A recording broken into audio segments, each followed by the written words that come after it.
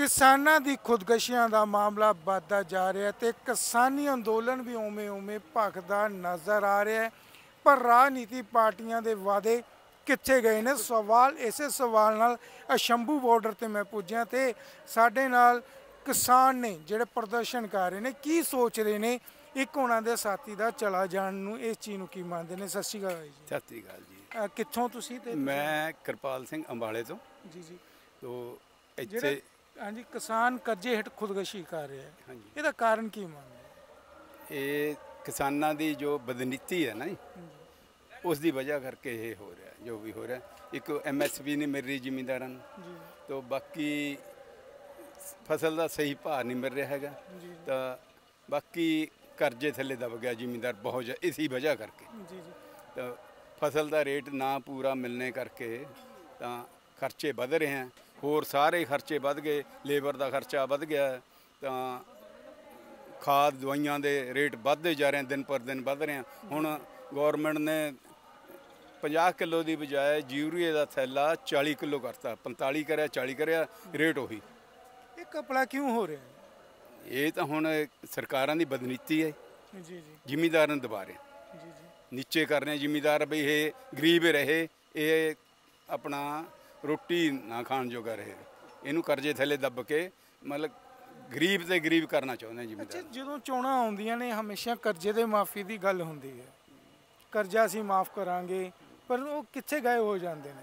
ਨਹੀਂ ਦੇਖੋ ਹੁਣ ਪਿੱਛੇ ਜਦ ਦਿੱਲੀ ਧਰਨਾ ਲੱਗਿਆ ਸੀ ਜੀ। ਉਸ ਟਾਈਮ ਆਪਣੇ ਪ੍ਰਧਾਨ ਮੰਤਰੀ ਸਾਹਿਬ ਨੇ ਮੰਨਿਆ ਸੀ ਐਮਐਸਪੀ ਦਊਂਗਾ ਮੈਂ ਕਰਜ਼ਾ ਮਾਫੀ ਕਰੂੰਗਾ ਤੁਹਾਡੀ ਪਰ ਨਹੀਂ ਫਿਰ ਮੁੱਕਰ ਗਏ। ਸਰਕਾਰਾਂ ਫਿਰ ਮੁੱਕਰ ਗਈਆਂ ਉੱਥੇ ਦੀਆਂ ਉੱਥੇ ਦਾ ਇਸੇ ਇਸੇ ਵਜ੍ਹਾ ਕਰਕੇ ਇਹ ਧਰਨਾ ਦੁਬਾਰਾ ਲਾਉਣਾ ਪਿਆ। ਜੀ ਜੀ। ਪਰ ਕਰਜ਼ਾ ਮਾਫੀ ਲਈ ਚਾਹੇ ਸਰਕਾਰ ਚੇਂਜ ਹੋ ਚਾਹੇ ਸੂਬਾ ਸਰਕਾਰ ਹੋਵੇ ਚਾਹੇ ਕੇਂਦਰ ਸਰਕਾਰ ਹੋਵੇ ਉਹਨਾਂ ਦੀਆਂ ਪੋਲੀਟੀਕਲ ਪਾਰਟੀਆਂ ਨੇ ਉਹ ਕੁਝ ਵੀ ਨਹੀਂ ਕਰਦੀਆਂ। ਸਿਰਫ ਵਿਰੋਧੀ ਧਿਰ ਤੱਕ ਹੀ ਰੋਲਾ ਪਾਉਂਦੀਆਂ ਨੇ ਕੀ ਮੰਨਦੇ ਹੋ? ਇੱਕ ਛੜੰਤਰ ਹੈ ਜਾਂ ਸਾਜ਼ਿਸ਼ ਹੈ? ਬਿਲਕੁਲ ਬਿਲਕੁਲ। ਇਹਨਾਂ ਦੀ ਸਾਜ਼ਿਸ਼ ਹੈ ਇਹ। ਇਹ ਤਾਂ ਸਿਰਫ ਵੋਟਾਂ ਬਟੋਰਨੇ ਸੀ ਨਹੀਂ ਮਤਲਬ ਇਹਨਾਂ ਦਾ ਇਹ ਇੱਕ ਉਹ ਆਪਣਾ ਜਿਵੇਂ ਸਟੰਟੇ ਕਰਕੇ ਦਿਖਾਉਣੀਆਂ ਕੋਈ ਇਹਨਾਂ ਦਾ ਪਬਲਿਕ ਵਾਸਤੇ ਕੋਈ ਇਹਨਾਂ ਦਾ ਉਹ ਸਹੀ ਜੋ ਕਰਦੀਆਂ ਵਾਅਦੇ ਕਰਦੀਆਂ ਉਹ ਪੂਰੇ ਨਹੀਂ ਕਰਦੀਆਂ। ਇਹ ਕਿੱਦਾਂ ਹੱਲ ਹੋਏਗਾ ਤੁਹਾਨੂੰ? ਹੱਲ ਤਾਂ ਇਹੀ ਹੋ ਸਕਦਾ ਜੇ ਲੀਡਰ ਸਾਡੇ ਸਹੀ ਹੋਣਗੇ। ਇੰਨੀਆਂ ਸਰਕਾਰਾਂ ਸਹੀ ਕੰਮ ਕਰਨਗੀਆਂ। ਜ਼ਿਮੀਂਦਾਰਾਂ ਨੂੰ ਰੇਟ ਜੋ ਹੁਣ ਇੱਕ ਅੰਨਦਾਤਾ ਹੈ। ਜੀ। ਇਹਨਾਂ ਨੇ ਜ਼ਿਮੀਂਦਾਰਾਂ ਨੇ ਮੈਂ ਵੀ ਵਿੱਚੇ ਆ ਜਾਣਾ ਉਹਦੇ। ਇੰਨੀ ਮਿਹਨਤ ਕਰੀ ਹੈ ਇੰਨੀ ਮਿਹਨਤ ਕਰੀ ਹੈ ਮਤਲਬ ਜਿਹੜਾ ਅਨਾਜ ਬਾਹਰ ਤੇ ਆਉਂਦਾ ਤਾਂ ਉਹ ਅਸੀਂ ਉਹਦੇ ਆਪ ਆਤਮ ਨਿਰਭਰ ਕਰਤੇ। ਹਿੰਦੁਸਤਾਨ ਗਵਰਨਮੈਂਟ ਨੂੰ ਆਤਮ ਨਿਰਭਰ ਕਰਿਆ। ਹਾਲਾਂਕਿ ਫਾਲਤੂ ਵੀ ਕਰਤਾ ਇਹਨਾਂ ਨੇ। ਜੀ ਜੀ। ਤਾਂ ਇੰਨੀ ਮਿਹਨਤ ਕਰਨ ਦੇ ਬਾਅਦ ਬਾਵਜੂਦ ਵੀ ਜੋ ਸਰਕਾਰਾਂ ਇਹਨਾਂ ਦੇ ਨੀਚ ਫੇਰ ਫ਼ਰਕ ਹੈ। ਜ਼ਿਮੀਂਦਾਰ ਨੂੰ ਤਾਂ ਇਹ ਸਮਝਦੀਆਂ ਕੁਛ ਨਹੀਂ ਹੈਗੇ ਚੰਗਾ ਨਹੀਂ ਸਮਝਦੀਆਂ ਹੈਗੀਆਂ। ਤਾਂ ਜੇ ਇੰਨਾ ਕਰਨ ਦੇ ਬਾਅਦ ਵੀ ਸਾਨੂੰ ਇਹ ਮਾਰਨਗੀਆਂ ਤਾਂ ਫਿਰ ਤਾਂ ਗਵਰਨਮੈਂਟ ਦੇ ਖਿਲਾਫ ਹੀ ਚੱਲੂਗਾ ਕਿਸਾਨਾਂ ਜ਼ਿਮੀਂਦਾਰ ਨੂੰ ਕਿਸੇ ਰਾਜਨੀਤੀ ਦਲ ਤੋਂ ਲੱਗਦਾ ਕਿ ਇਹ ਇਨਸਾਫ ਕਰ ਸਕਦਾ?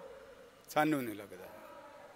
ਸਾਨੂੰ ਕੋਈ ਨਹੀਂ ਲੱਗਦਾ ਹੈਗਾ ਇਸ ਬਾਰੇ ਬਈ ਇਹ ਇਨਸਾਫ ਮਿਲੂਗਾ ਸਾਨੂੰ ਨਹੀਂ ਸੜਕਾਂ ਤੇ ਬੈਠਣ ਦਾ ਸਾਡਾ ਮਤਲਬ ਇਹੀ ਹੈ ਜੇ ਸਾਨੂੰ ਇਨਸਾਫ ਨਹੀਂ ਮਿਲ ਰਿਹਾ ਹੈਗਾ। ਇਨਸਾਫ ਮਿਲਦਾ ਤਾਂ ਅਸੀਂ ਆਪਣਾ ਕਿਉਂ ਸੜਕਾਂ ਤੇ ਬੈਠਣ ਦਾ ਦਿਲ ਕਰਦਾ ਕਿਸੇ ਦਾ ਇੱਥੇ ਗਰਮੀ ਦੇ ਵਿੱਚ ਇੰਨੀ ਚ?